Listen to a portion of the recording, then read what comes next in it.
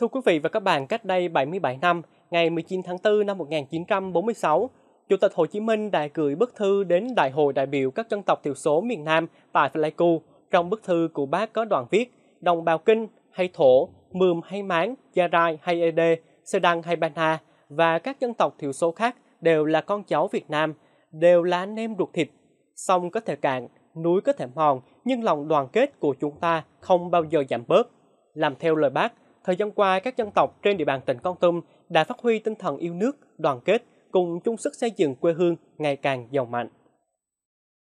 Mỗi tháng đều đặn hai lần, bà con nhân dân thôn Con Tum Cơ Bơn, xã Đắc Rơ Va, thành phố Con Tum lại cùng nhau tổ chức vệ sinh đường làng ngõ xóm. Dù khá vất vả, nhưng ai nấy đều cố gắng phát dọn thật sạch sẽ, gìn giữ môi trường nhằm phân đấu đưa xã đạt chuẩn nông thôn mới trong năm nay. Nhân dân trong thôn luôn phát huy tinh thần đoàn kết, à, tương thân tương ái, giúp đỡ lẫn nhau. Bản thân tôi à, là trưởng ban công tác mặt trận luôn tuyên truyền vận động bà con áp dụng khoa học kỹ thuật, rồi tuyên truyền bà con um, à, thay đổi cây trồng à, kinh tế um, có giá trị kinh tế cao như cây cao su, cây cà phê, rồi, tuyên truyền bà con à,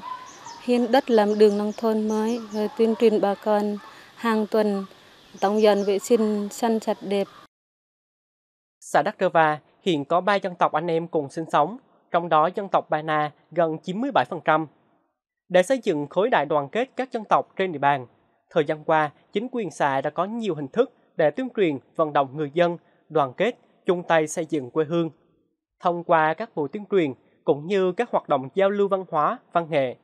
các dân tộc trên địa bàn xã luôn tin tưởng tuyệt đối vào sự lãnh đạo của đảng, sự điều hành quản lý của nhà nước, ra sức thi đua, phát triển kinh tế, giữ vững an ninh chính trị, trật tự an toàn xã hội ở địa phương. Mặt trận cũng phối hợp với các tổ chức thành viên ờ, tăng cường công tác tuyên truyền, ờ, vận động ờ, các tầng lớp nhân dân phát huy sức mạnh khơi đại đoàn kết toàn dân tộc, tăng cường công tác tuyên truyền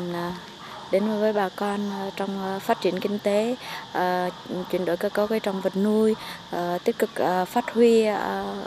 văn hóa bản sắc dân tộc như duy trì việc đánh cồng chiên, mối xoan, giao lưu với các thôn với các khu dân cư với nhau.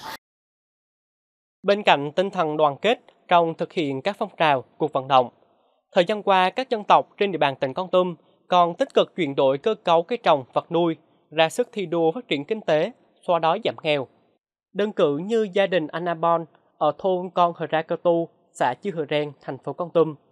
Nhờ được Hội Nông dân xã tuyên truyền vận động, cuối năm 2022, gia đình anh đã chuyển đổi từ cây mì kém hiệu quả sang trồng các loại cây rau màu có giá trị kinh tế cao. Chỉ sau nửa năm canh tác, gia đình anh thu về lợi nhuận hơn 30 triệu đồng cao hơn nhiều lần so với trồng mì trước đây.